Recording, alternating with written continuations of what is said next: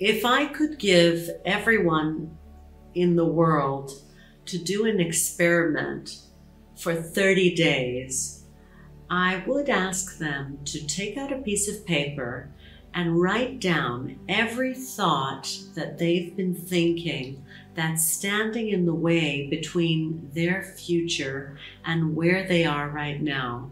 Write down every habit or behavior that stops them from becoming the person that is healthy, wealthy, and free. And begin to recognize the emotions that keep you in the same state of being and become so conscious of these thoughts, behaviors, and emotions that they wouldn't let any of them slip by unnoticed then I would have them write down the thoughts that they do want to fire and wire in their brain. I would like you to describe the characteristics of the great person you want to become and practice rehearsing that person.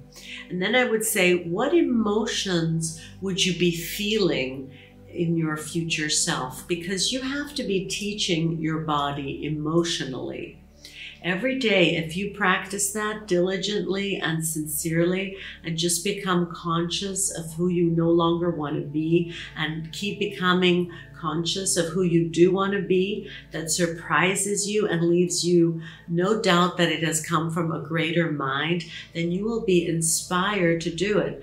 And now we understand that we are creators of our life. So, how do you feel about that? How does that make you feel? Would you like to try that experiment for 30 days? Do this written exercise?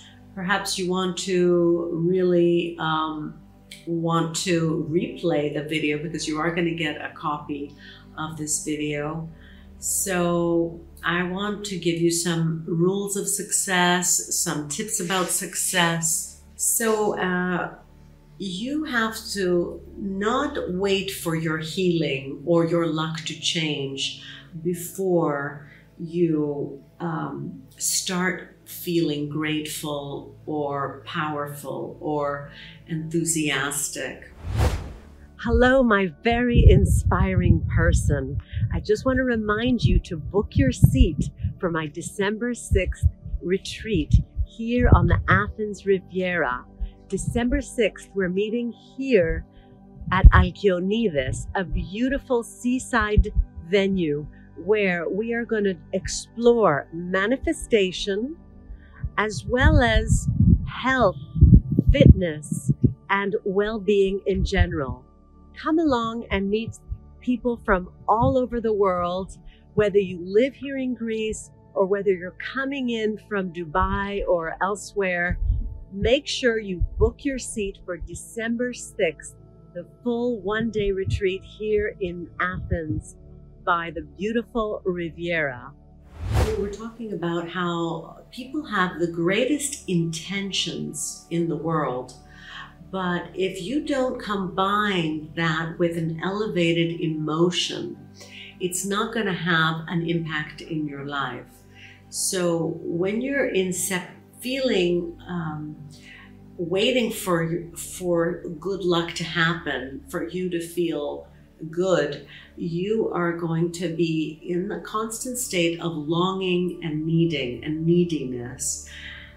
And the what you can start doing is enter the emotions that you want to have in the future from now. So that's like proactively feeling the emotions that you want to be having. So so what that does is it lessens the distance between where you are now and what you want to have or manifest in your life. Um, it's not exactly fake it till you make it. It's really entering the state that you want to have. You want to proactively create the reality by elevating your emotions from here and now and it takes a constant practice. It takes an all day practice. In the Orthodox religion, we say continuous prayer ongoing prayer. Okay, prayer is an exercise. It's not something you do once a day. Meditation is not something you do for, you know, half an hour a day or 10 minutes a day. We are talking about constant prayer, constant growth, constant connection with Source, and feeling that gratitude and that grace that you are receiving from divine power. And then you'll start seeing synchronicity in your life. You'll start to see more um, love, more luck in your life as you enter that deeply emotional relationship with the divine, divine source. And for some people, this may seem like work, but once it becomes a habit of connecting with love in your life, connecting with gratitude in your life, it's going to produce a bigger and bigger wave of good luck because you are creating a wonderful wave of positive energy. And you'll be able to actually heal others through your own positive energy. I'm teaching people how to administer a change in energy to even other people from yourself. Some people call it Reiki, some people call it uh, the energy field. But once you have changed the field within yourself, you can literally change matter. Okay? You may have something like uh, a cyst or a tumor but this, you have to understand, is just an energy field. It is a dense energy field, but if your energy field can overcome and override that energy field of the tumor, you will start to heal your own self. And this, this is not something out of science fiction. You see this more and more often uh, spontaneous healing. It's so important um, out of the infinite places that you can place your attention, put it on your heart. Now, when you place your attention, is actually where you place your energy because we want this center to bloom. 1400, 1300 different chemicals that will go out into the body and start healing your body. You have that capacity. You have nature's medicine chest right inside your own body. Um, all these positive hormones like serotonin, dopamine, little by little, as you place your attention, you uh, become your own healing life force and you're turning your love inward and start healing yourself from your own love chemicals. These are chemicals, it's your own neurochemistry, your own neurochemistry can heal yourself. As your heart begins to bloom, um, you are aroused physically. It's similar to when you're feeling an orgasm in your sexual organs. You basically create uh, love chemicals like oxytocin through your heart, and that triggers um, chemicals that will relax your whole body um, it causes the arteries in your heart to open up. So your heart is going to be filled with blood and oxygen and nutrients. It's physiological. You're going to feel full. You're going to feel that gushing feel um, instead of a hard on like they have in sex, you're going to have a heart on. Okay, it's really uh, like an erection in your own heart. It's a sexual energy that you usually feel in your genitals. You're going to move that energy up to your heart, and it's going to make you start sobbing from gratitude and love. It's really a religious experience. You're going to be gushing all these love hormones. And what's going to happen is that you are going to be healing your own body from your own heart chemicals. Your heart will trigger your own healing. And you will no longer be grabbing the, the, the chocolate cake or the ice cream or the alcohol or I don't know what other things you break out on or you're addicted to, like cigarettes, um, or even just watching television.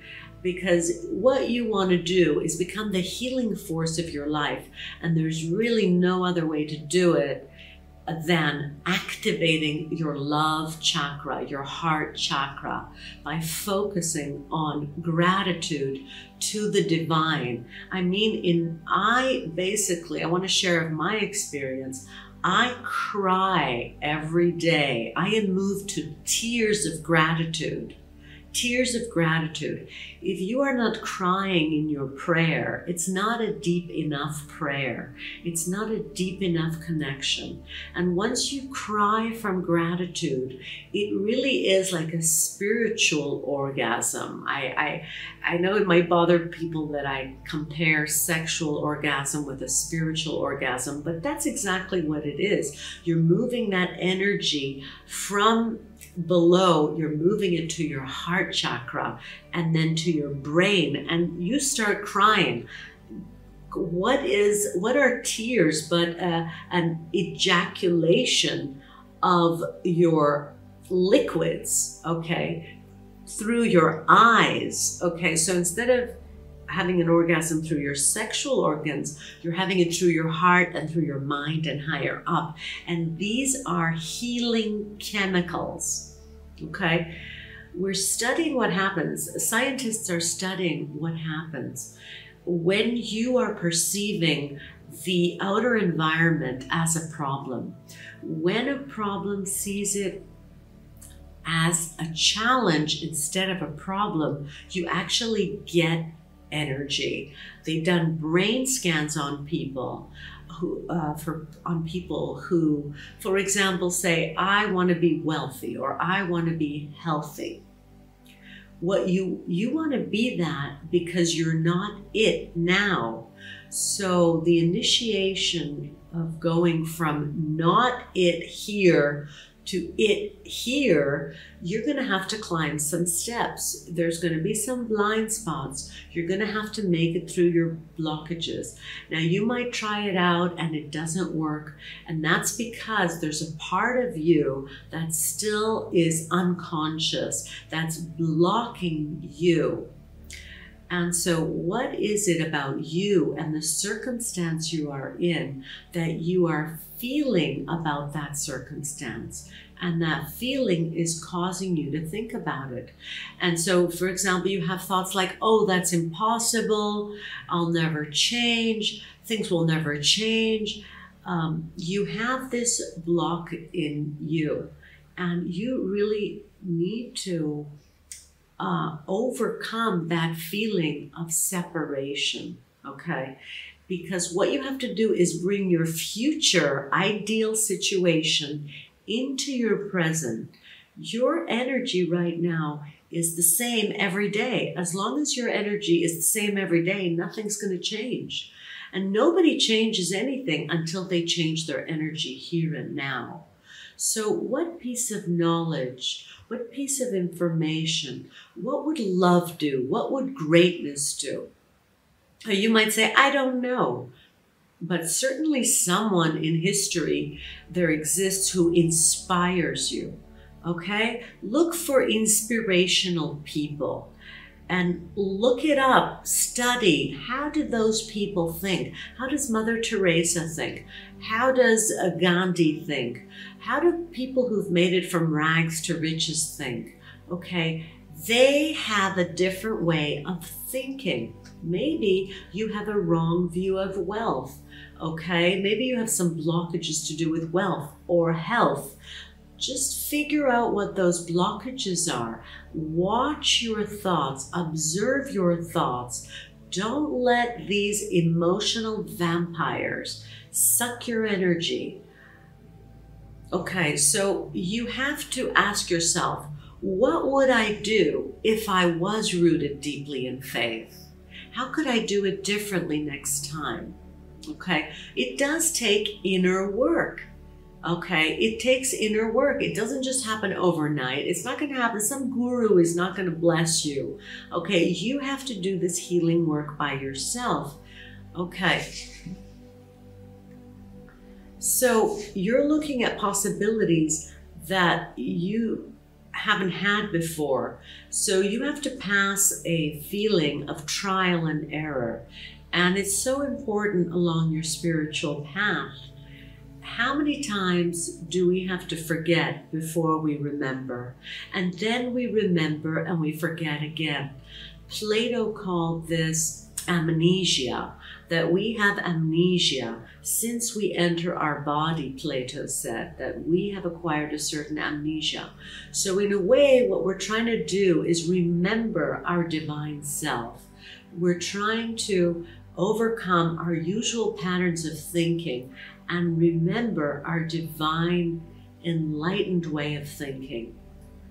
So instead of being in your negative, self sabotaging, self pitying mode, you have to be able to change channel. Somehow you have to change channel.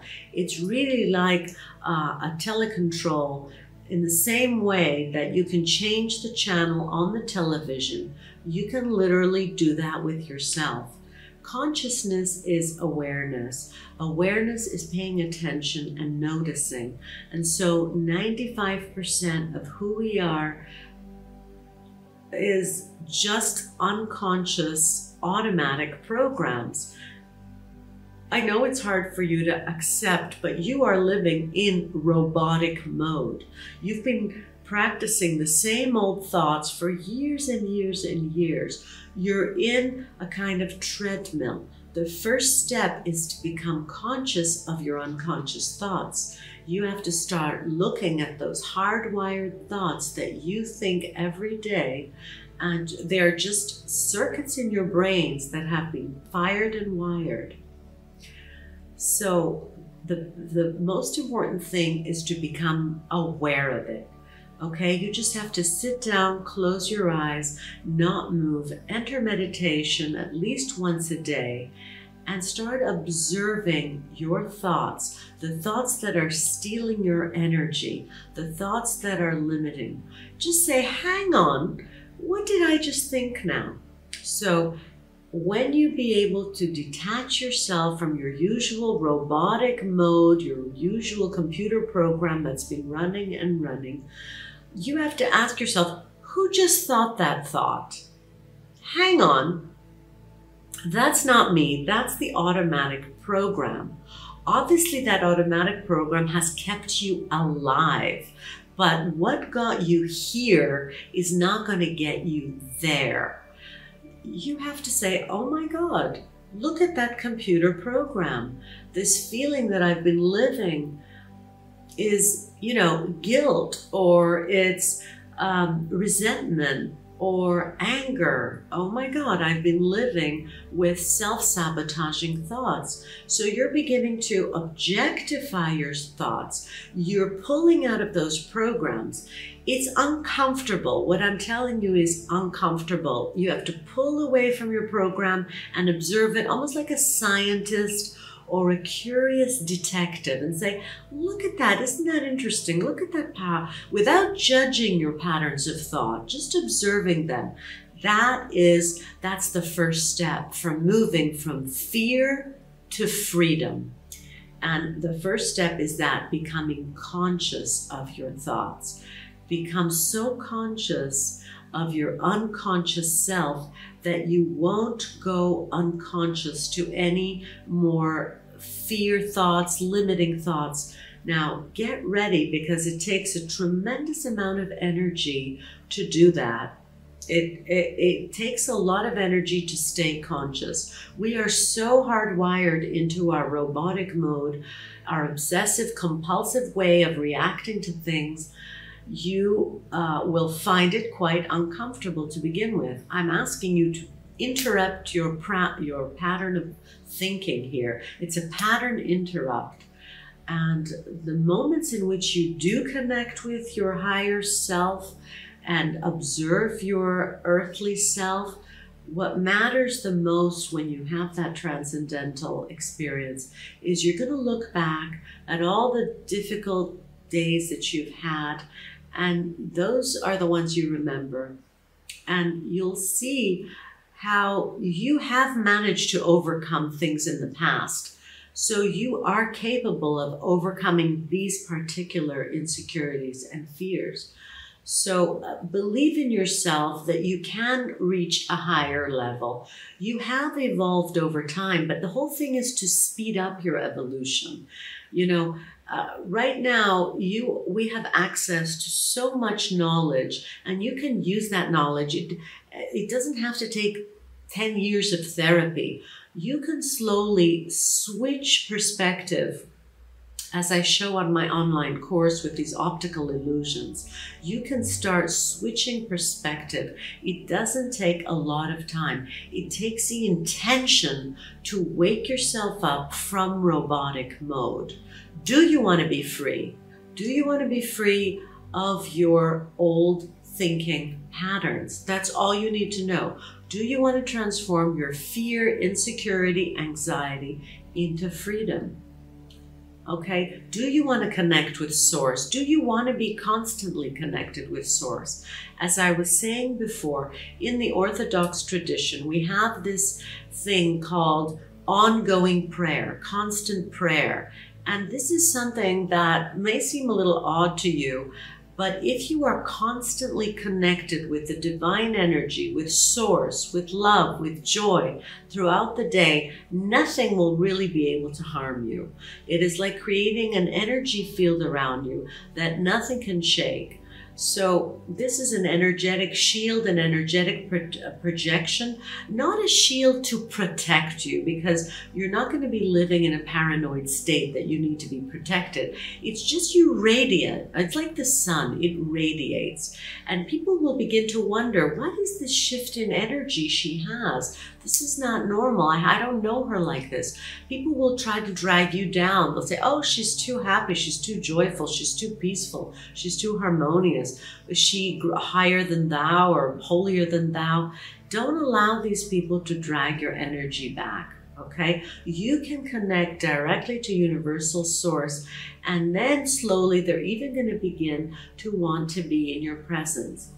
Nothing will be able to stop you as soon as, for someone who has spent your whole life working on having the perfect body or, you know, where you place your body, uh, your attention is where you, you place your energy. Okay, you know this. It's like a gym. You work out in the gym, you work out your muscles. If you keep working up your muscles, you will build muscle.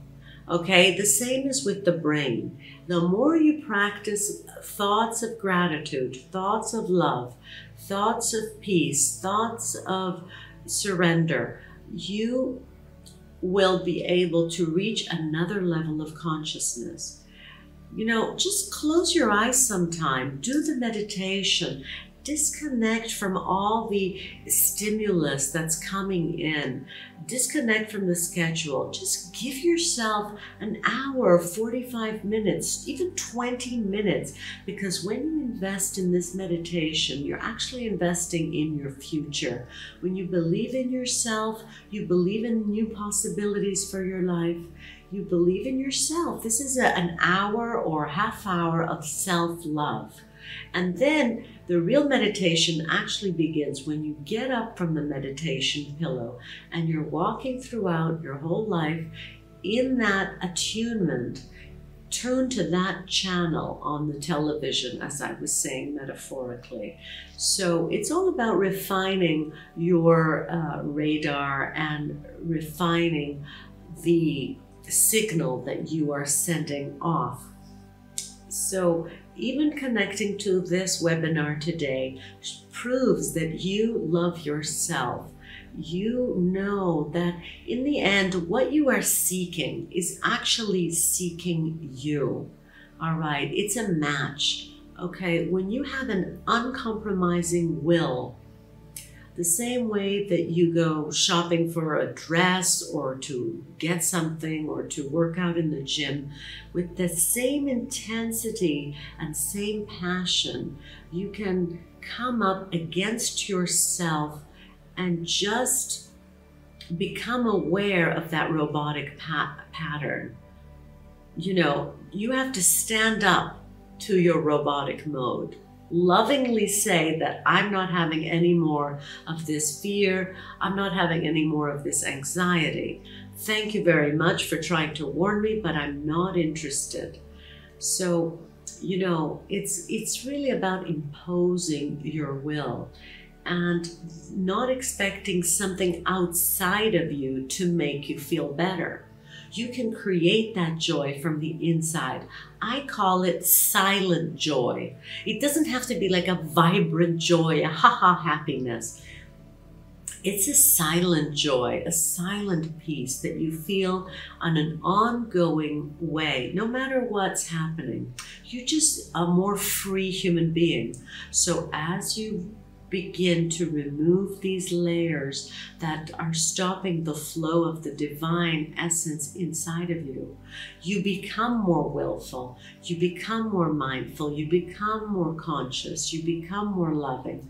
It's it's its nature, right? All you have to do is remove the emotional baggage, remove um, all the this self-sabotaging thoughts. At the end of the day, if you really want to become wealthy, for example, you can, you know, each day, you know, ask yourself, what did I do today? Um, did I was I thinking wealthy thoughts today? Was I thinking healthy thoughts today? Um, how did I do today? You should really assess yourself at the end of the day and give thanks at the end of the day, no matter what has passed during the day. And give yourself another chance on the next day. It's kind of like that movie Groundhog Day, where you're given the same test over and over again until you slowly evolve your experience and somehow a door will open. As long as you have that intention to overcome your limiting beliefs and connect with your new life, and really, finally, when you uh, arrive at your abundant if you if you know if you already if you actually when you do manifest that money uh, or that wealth you're going to probably not even care much because you will have already accessed the joy and the benefits of what you think abundance will give you from here and now today. In fact, you're going to start becoming uh, not only wealthy, you're actually earning the right to really feel worthy and feel grateful. That's all you really are wanting. I mean, a lot of people want wealth so that they can feel comfortable or luxurious. Well, guess what? You can feel comfortable and luxurious just where you are here and now. And so the money will come because you will attract it. If you are a person who is comfortable, luxurious, and the money will just come by itself. You know, don't obsess about why you don't have the money. If you do that, you're going to be in lack again. The same with health. Health and wealth, it's very interconnected. You know, if you start thinking in a more healthy way and removing all your blockages, making time for meditation, it's no longer about your health it's going to be about feeling vibrant and just, you know, freeing yourself of all your limitations. I, I do think it needs work. I mean, but it does need, you know, you have to do the work. You know, everybody wants the results without the work. If you're not in constant prayer throughout the day, even when you're at the grocery store, in the supermarket, stuck in traffic, can you connect with divine energy. You know what? I have a, a certain mantra I repeat throughout the day, and that is eleison. Kyrie eleison. Perhaps you've heard of that mantra. It's a Christian uh, mantra, but you can use any mantra you like. You know, uh, the Muslims have La ilaha illallahu. Um, whatever mantra you have, I would be repeating that throughout the day. And I, it, it is a spiritual path. In a way, we are like um, a monastic life, but within society. You're living a spiritual life within um, within society, you're actually living a spiritual life because you no longer have to be in a monastery to live a, a spiritual life. You can live a spiritual life being within uh, the mundane, within the ordinary life. And that is the challenge. That is a, a choice. Do you want to be split up into a thousand different pieces, waiting for the external environment to please you? Or are you going to be what we call in Greek autophotos, self illuminating, connecting with source energy and radiating that outwards to the world?